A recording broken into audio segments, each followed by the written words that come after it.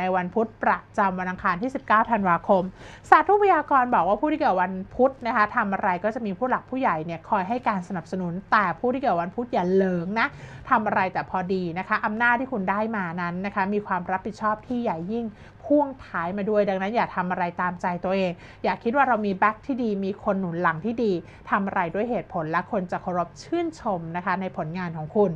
ด้านการเงินนะคะใครที่มีคดีความที่เกี่ยวกับสมบัติอยู่